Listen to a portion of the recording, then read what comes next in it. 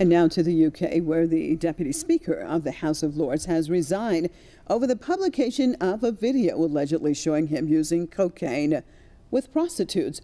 Baron John Sewel's decision to resign came after the British daily The Sun published pictures of him snorting cocaine.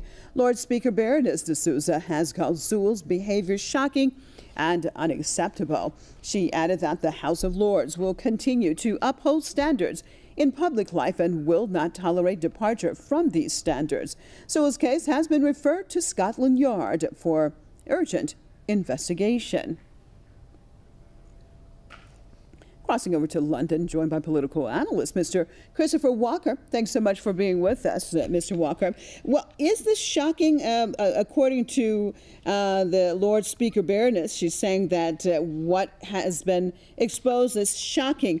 Do you think it really is shocking when we look at what has been taking place in general, whether we're talking about the parliament or with uh, political figures in general um, in the UK? Uh, how shocking is it? Well, I think it's, a, as you say, it's part of a, a string of equally shocking uh, scandals, some of which are alleged that in the same building that this take place, near to Parliament, uh, young boys were abused by MPs and other senior politicians. What makes it perhaps doubly shocking today is that those are allegations.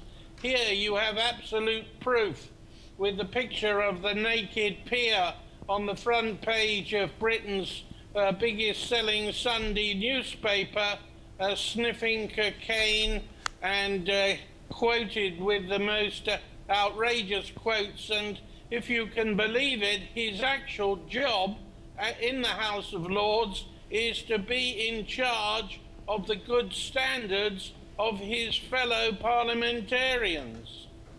So he is supposed to encourage what I uh, what I'm understanding from what you're saying, obviously positive ethics. What does that say in general? More and more we have seen politicians there actually being exposed, whether it is uh, uh, financial scandal or sexual scandal, um, it seems to be more and more prevalent. Is it more and more prevalent, or just that it's being exposed? And what does that say overall for the political system if those who are in power uh, actually are, are, deemed not to be very moral in general?